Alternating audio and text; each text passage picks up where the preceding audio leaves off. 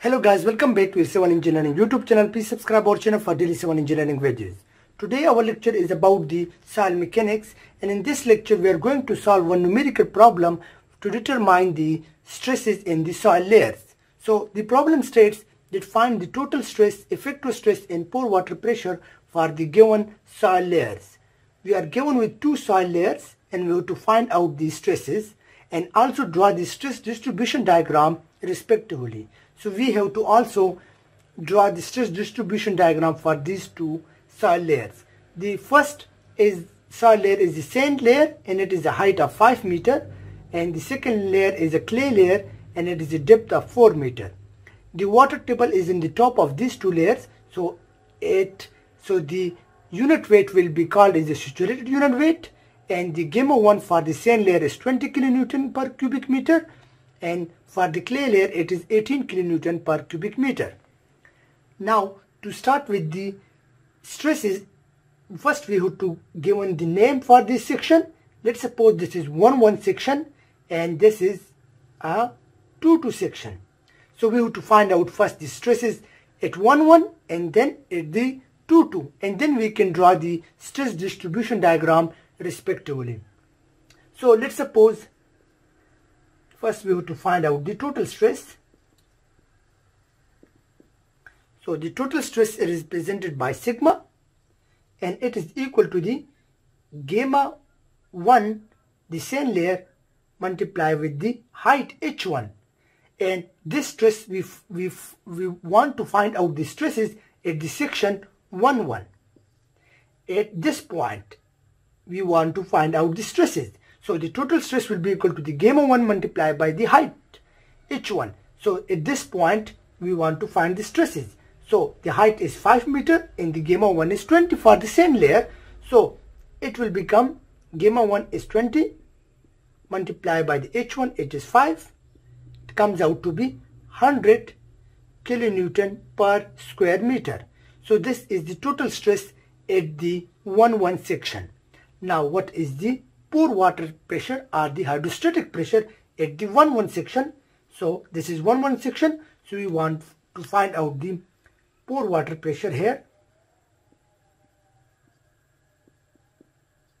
at the section 1 1 so it will be equal to and it is equal to the mu is equal to the gamma w multiplied by the height h1 because we want to find at the section 1 1 so height is 5 meter and is the water table is on the top of the layer so we have to consider the pore water pressure in this case so this is the depth for this layer and the water and the gamma W will be the unit weight for the water. Is the gamma W for the water is 10 kilonewton per cubic meter. This we known this is a known fact that the unit weight of the water is 10 kilonewton per cubic meter. So it will become gamma W is 10 multiplied by the height H1 is 5 so it is 5, so it is 50 kilonewton per square meter. This is the pore water pressure at this section 1 1. Now the effective stress, the effective stress at this section 1 1 will be equal to the the total stress effective stress represented by sigma dash equal to the total stress minus the pore water pressure so the total stress we know that the 100, this is the formula used to determine the effective stress, is 100 minus the pore water pressure is 50. So 100 minus 50 we get 50. So the pore, the effective stress at the section 1 1 is also 50 kilonewton per square meter. Now how to find out at section 2 2? We want to find out the stresses at section 2 2. So similarly, the total stress, it will be equal to, now it 2 to means we want to find out at here at the end of these two layer, at the bottom of these two layer. So the total stress will be equal to the, the stress at this point, 1 1, the total stress at 1 1, which is 100, plus the stress at this second point from this from this 1 1 up to this point. So this is distance is 4 meter and the unit weight for the clay layer is 18 so it will be gamma 2 multiplied by h2 this is gamma 1 multiply h1 and this is gamma 2 multiply h2 so we get the total stress at this 2 2 layer. So it will it will become 100 plus gamma 2 is 18 into h2 is 4 meter so this comes out to be 172 kilonewton per square meter. Now the pore water pressure it is equal to mu so it is equal to the gamma W multiplied with the total height which will be H1 plus H2 because we want to find the pore water pressure at the section 2 2 so it will be the total height. This total height will be this taken from this top up to the bottom. This will be the total height for the pore water pressure is the water table is in the top of this these layers. So gamma w is 10 we know this 10 and h1 is 2 this is 5 plus 4 is 9 so 9 it comes out to be 9 kilonewton per square meter. Now the effective stress at this section 2 2 will be the total stress minus the pore water pressure the total stress is 172 at the section 2 2 subtracting the 90 which is the pore water pressure. So it comes out to be 82 kilonewton per square meter. So this is the pore effective stress at the section 2 2 now how to draw their stress distribution diagram? So here will be the total stress here we, we want to draw the pore water pressure and here I want to draw the effective stress. So let's suppose these are the reference lines and this is 5 meter. Similarly this is 4 meter.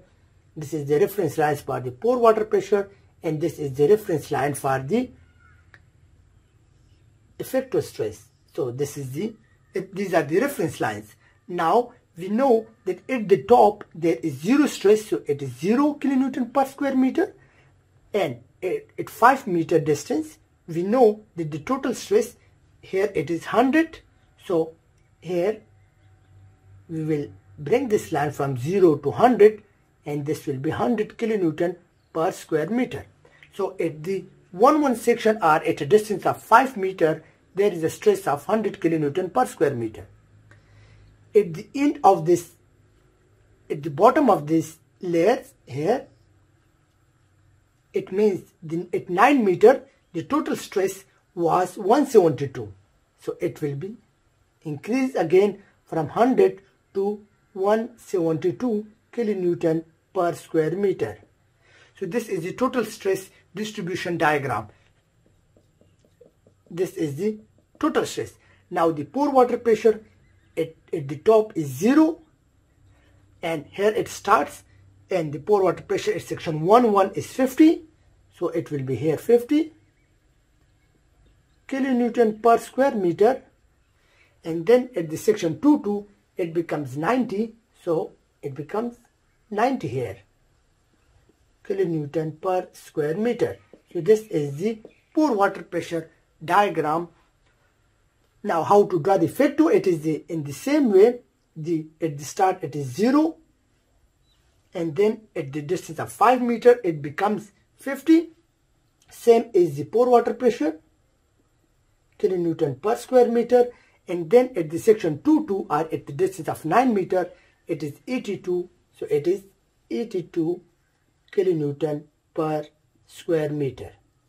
So this is the way how to draw the stress distribution diagram for the different soil layers. Hope you guys understand and don't forget to subscribe our channel for daily civil engineering videos. Thank you for watching our video